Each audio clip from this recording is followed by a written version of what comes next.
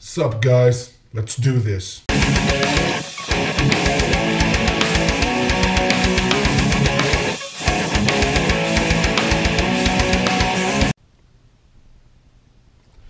Sup, guys? Claudio back again with a new reaction. This time we have 10 banned kid shows. No, 10 banned kid shows episodes. Kids kids show episodes. Man, that was tough to say. 10 banned kids show episodes.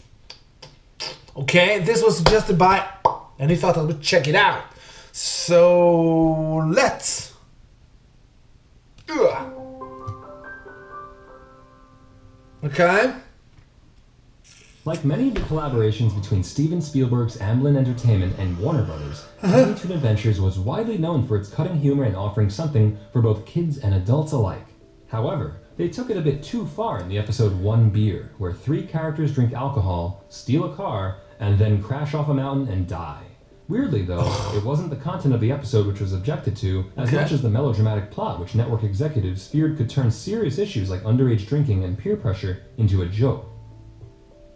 Okay. Disney series Gargoyles ran for three seasons and was known for not patronizing its audience and tackling tough issues. However, Okay. the first season episode Deadly Force took things a step too far when it tackled gun violence. In one scene, Okay. one of the heroes of the show is shown lying in a pool of her own blood, something which Disney itself eventually censored, removing the episode from circulation before reintroducing it with all the blood taken out. Oh, really? In the UK, not only were a couple of episodes of Teenage Mutant Ninja Turtles banned for their portrayal of violence, the whole show was digitally altered in order to fit the government's crusade against violent images in kids' TV. Uh huh. Strangely, this meant the show being digitally altered to remove nunchucks, and the name being changed from Teenage Mutant Ninja Turtles to Teenage Mutant Hero Turtles. Hero. Yeah, I've heard about that. a that. of episodes from the English language version of Sailor Moon which have never been shown on television. Most are banned due to foul language or implied nudity, which is often seen in Japanese manga. Yeah. But some of these episodes are banned due to the depiction of the relationships between Sailor Uranus and Sailor Neptune. In the English dub, Wha- the two what? characters are described as being cousins, but in actuality, they're lovers, meaning that any episode that shows Really? them as such had to be pulled from broadcast. What? In the episode Rude Removal, boy genius Dexter creates a machine which removes all of the rudeness from his irritating sister, Dee Dee. By the time he gets to use the machine, something goes wrong, and they are both split into two versions of themselves perfect polite kids and bizarro versions which swear like troopers. Although the swearing is dubbed out, the quality of the lip syncing on Cartoon Network shows meant that it was pretty easy to work out what they were saying, meaning that the episode was banned before it ever aired in the US. Oh.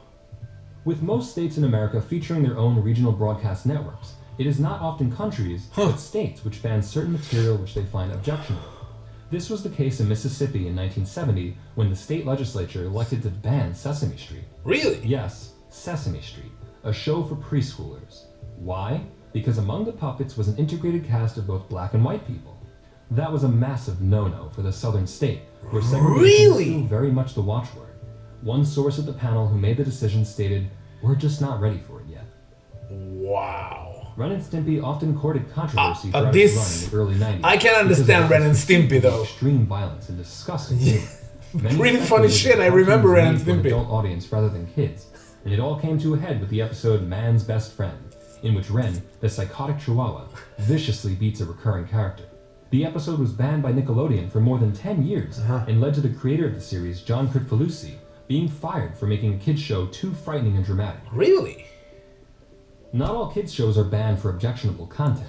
One episode of Pokemon, which was already an incredibly popular cartoon before the game was even released, was ah. banned for something much stranger. Yeah, the In an episode where Ash and his thing. friends go inside a computer to help a trapped Porygon, it was the flashing red and blue light used in the episode which Yeah. saw it banned. 12,000 Japanese viewers experienced Yeah. symptoms from nausea to seizures, and even temporary blindness. Pokemon Shock, Really? as it was dubbed in the media, was temporary, but of the 600 people admitted to the hospital, two ended up having to stay for more than two weeks. Wow. Different episodes of The Simpsons have been banned in so many countries, so many huh? times, and for so many reasons that it would be nearly impossible to tell you about them all. While British channel Sky One banned the episode The Cartridge Family, where Homer buys a gun, Russia banned the whole show in 2008 because it promotes violence, cruelty, antisocial behavior, and the infliction of physical and ethical suffering. Hmm. Strangely, The show was also banned by Venezuelan leader Hugo Chavez in 2008, where Really? he claimed it was unsuitable for children, replacing it with Baywatch of all things. Another show with more bands than you can shake a stick at. The Looney Tunes has the problem Really? of being incredibly old. Many of its themes, characters, and whole episodes come across as politically incorrect to a modern audience. Yeah. And some, such as the 1944 episode Bugs Bunny Nips the Nips, in which Bugs Bunny taunts a Japanese soldier, are seen as downright racist for their stereotypical portrayal of other races. Well, that happens with older cartoons. Removed from Cartoon Network in 1999, with the network reportedly uncomfortable with the stereotypical depiction of Mexican. However, the League of United Latin American Citizens campaigned and had him reinstated, citing him as a positive cultural icon. Yeah. Hmm. Interesting. Um, I'm. I'm. Um, it's like. Thoughts. Yeah, this was weird. Uh, I mean, I can understand it to a certain point. Uh, I mean, if we're talking about old old cartoons, like old Disney cartoons, are super racist as well. If you just take a really close a, cl- a closer look to them, they portray um, Asians, uh, black people, like fucking everybody's taking shots basically. If you take a look at really old um, Walt Disney uh, cartoons. Some of these I didn't know. I, I've heard about the Pokemon thing that it gave gave kids seizures or like epileptic spasms of some sort. I don't know why. I haven't seen the episode myself, so I didn't know that. I I, I haven't seen that. I mean, the whole um, um,